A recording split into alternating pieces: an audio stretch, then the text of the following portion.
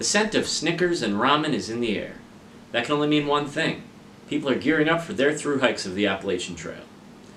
In the spirit of the season, I decided to make a video about the gear that I used on my through hike of the Appalachian Trail when I did it a few years ago.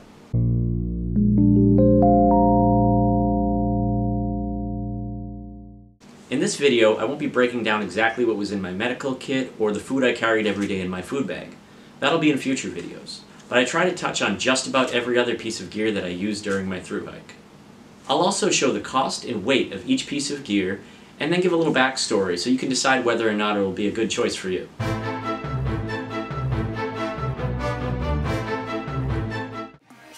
For my rain shell I used the Mountain Hardwear Escape Jacket. The price here says $275, but I actually got this jacket for around $125 at my local EMS when they were having a sale. At 2 pounds 4 ounces, it's a little heavier than some of the other rain shells out there, but it's super durable and it kept me warm and dry for my entire hike. For my fleece, I used a Marmot Rocklin fleece jacket. This fleece was warm, durable, and I still have it to this day. At night, I even balled it up and used it as a pillow. For the first two thirds of my hike, I used these Mountainsmith trekking poles. They were fine and did their job, but once I upgraded to Leki trekking poles, I could definitely see the difference of using higher quality equipment. When I got to New Hampshire, I ditched the Mountainsmith trekking poles and upgraded to these Leki Makalu trekking poles. They were lighter weight and a little more comfortable to use. For my pack I used a GoLite Quest backpack. Before I started my hike I had this pack for a number of years, and it lasted a good portion of the way through my hike. However, when I got to Virginia, one of the shoulder straps started to tear away from the body a little. I called up customer service to see if there was anything they could do, and they actually sent me a new pack free of charge. When I was doing research for this video, I found out that GoLite actually went bankrupt in 2014. That's really sad because they made great packs. Now, if I was going to buy a pack today, I probably would buy an REI pack, just because they're around my price range, between 150 and $200, and the reviews are really great. So that would be a good alternative to the GoLite pack mentioned in this video. When I started the trail, I didn't have a pack cover, but when I got to Neel's Gap, I decided I needed one, so I picked this one up for $20, and it worked fine. To line my pack and help keep my gear dry, I used a heavy-duty trash bag. This is a great gear hack that's effective and cheap. To organize my pack and help keep my stuff dry, I picked up three dry bags from Walmart. They all came in one set for about $10. In the smallest one, I put my medical kit. In the medium one, I put my cooking stuff. And in the largest one, I put my clothes. They actually held up really well, and I used the same three for the entire hike. In a future video, I'll do a complete breakdown of my medical kit. New Balance might not be the first name you think of when you think of hiking boots, but they make a great product, and my feet were really comfortable for the entire hike. I barely got any blisters except for when my feet were soaked in a downpour. When the boots finally started to come apart a little after 1500 miles of hiking, I called New Balance customer service and they sent me their newest style of hiking boots for free. Superfeet insoles help cushion your feet and also take some of the impact off your knees. At $50 it might seem a little expensive, but it's definitely worth the money. Dry feet are really important to me, so I use four pairs of darn tough socks. And as the name would suggest, they're a really high quality product. I use the same four pairs for my entire hike. Sock liners help wick away moisture from your feet and act as a barrier against blisters. I definitely went through more than four pairs during my entire hike, but as a base amount, I always had four pairs in my pack. When I started the trail, I used an EMS Solstice 20 degree synthetic sleeping bag. It was comfortable and warm, but it took up too much space in my pack. If I were to do it over again, I think I would have gone with a down sleeping bag right from the beginning, just to save that extra space in my pack. When I got to Virginia and the weather had warmed up a little, I switched out my synthetic sleeping bag for a Deuter 40 degree down sleeping bag. It took up way less space in my pack and it kept me warm for the rest of my hike. The reason why the weight is an estimate there is because I don't have this bag anymore. For both sleeping bags I used a Kelty compression stuff sack, and it worked great. The sleeping pad I used was a Thermarest Z-Lite. The combination of comfort, price, and weight make this my favorite sleeping pad. If you haven't seen my sleeping pad comparison video, I put the link in the description below. The headlamp I used was a Petzl Tikka XP2. This is a bright headlamp and the batteries last quite a while. The stove I used is an MSR Pocket Rocket stove. At $39.95 it's a good deal, and at 3 ounces it's super lightweight. The stove is really reliable as well. I carried one and sometimes two of these medium-sized canisters to fuel my stove.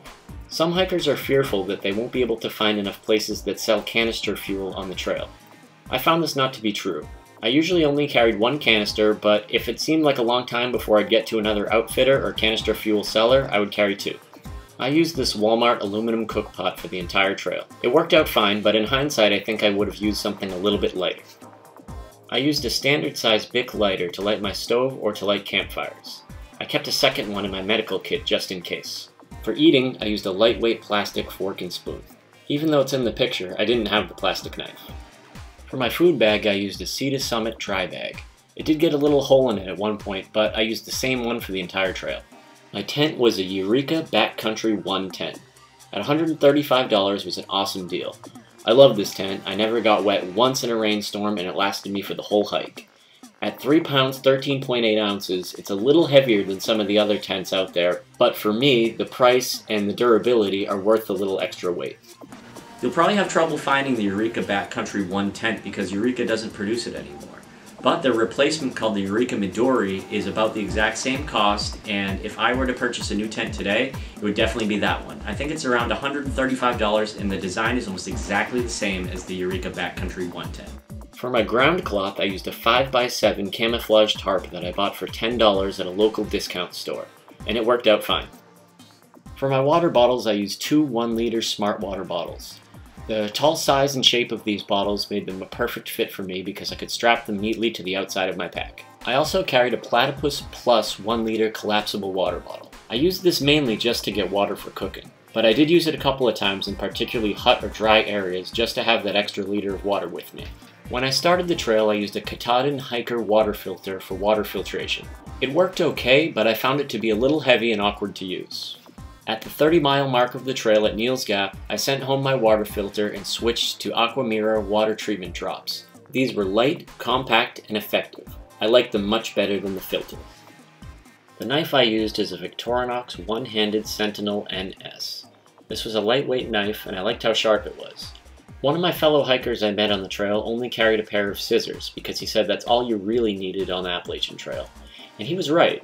But, like most people I think, I feel a little bit better when I have some kind of blade with me when I'm out venturing in the woods. Many of us through hikers were just big kids anyway, and nothing was cooler as a kid than having a badass pocket knife. Every day for hiking, I wore an EMS Techwick short sleeve shirt. This is a great shirt, and the price makes it a good value. But one thing about these Techwick kind of shirts is even after multiple washings, they tend to hold on to bad odors. So I actually went through a couple of these during my hike. The pants I wore were EMS zip-off hiking pants. I went through two pairs of these because I split one when I stepped over a log in Vermont. I used them mostly as shorts, but it was nice to have the option to zip on the bottoms when I got to camp and cooled down, or on windy peaks. The rain pants I wore were Campmor Backpacker 2 rain pants. They were cheap and the quality wasn't great, but I only used them for about 100 miles of the trail before leaving them in a hiker box. Maybe it's because they were such cheap rain pants, but I found them to be pretty sweaty and hot. After leaving them behind, I didn't buy another pair of rain pants, and I found that I actually didn't need any. For a warm hat, I wore a Carhartt acrylic watch cap. I used it when it was cold or windy, and I slept in it nearly every night. When I started the trail, I didn't have any gloves with me. When I got to Neels Gap, I ended up buying a pair of gloves, and I used them for my entire hike. They definitely came in handy on cold, windy days or pulling up freezing tent stakes in the morning. To protect my eyes, I wore a pair of cheap wraparound sunglasses. Also, to help shade my eyes, I wore an Under Armour stretch fitted cap. This hat also helped give structure to my rain hood, and if I turned it around, it kept the sun off the back of my neck. One thing I always had handy was one of my three bandanas that I had with me. I used them as handkerchiefs to keep sweat off my face or to filter crud out of water. I carried about a 100 feet of lightweight nylon rope. I used it to lash my sleeping pad to the bottom of my pack and also to hang my bear bag. I included Gold Bond here because I used it almost every day. Most people would just include it as part of their medical kit, but I carried around the big bottle. It's a super essential piece of gear to prevent chafing, especially when it's hot and humid outside. In fact, at one point I considered changing my trail name from Smooth to Gold Bond, but that's a story for a different day. For journaling and notes, I carried around a single subject spiral bound notebook and two pens.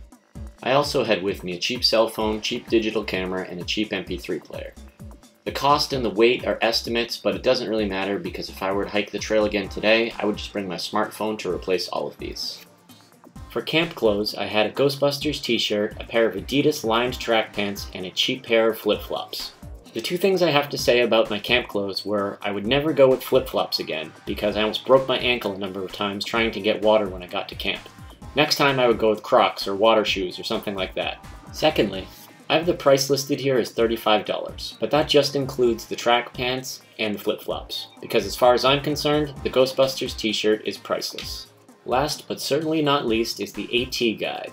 I had a different Appalachian Trail data book when I first started the trail, but once I switched to the AT guide I was happy I did. From the elevation profiles to the detailed town maps, the AT guide is one of the most essential pieces of gear you can have with you on your hike. Thanks for watching today. Subscribe if you like the channel, and if you have any other suggestions of alternative pieces of gear, leave it in the comments below. Thanks.